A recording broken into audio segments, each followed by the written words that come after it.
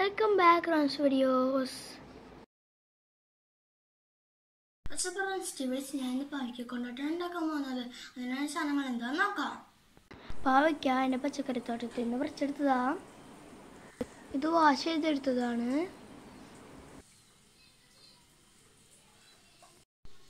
തൈര് ഉപ്പ് മഞ്ഞപ്പൊടി. റൗണ്ടിൽ കട്ട് ചെയ്തെടുക്കാം. ഉപ്പും മഞ്ഞപ്പൊടിയും തൈരും നന്നായിട്ട് മിക്സ് ചെയ്തെടുക്കാം. ഇതിലേക്ക് പാവയ്ക്ക റൗണ്ടായി കട്ട് ചെയ്തിട്ടിട്ട് നന്നായിട്ട് മിക്സ് ചെയ്തെടുക്കണം. എല്ലാത്തിലും നന്നായിട്ട് പരട്ടിയെടുക്കണം ഇത് നന്നായിട്ട് മിക്സ് ചെയ്തെടുത്തിട്ടുണ്ട്. ഇത് വെള്ളത്തിൽ ഉണക്കാൻ വയ്ക്കാം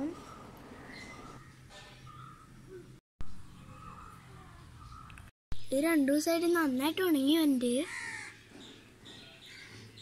രണ്ട് ദിവസമായപ്പോൾ നന്നായി ട്രൈ ആയിട്ടുണ്ട്. നമ്മുടെ പാവക്ക കോണ്ടന്റ് റെഡി ആയിട്ടുണ്ട്.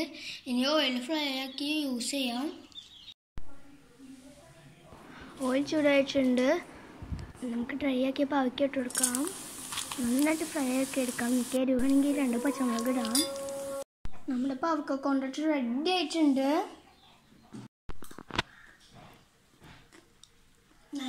didn't allow me to touch the see you next time. Bye!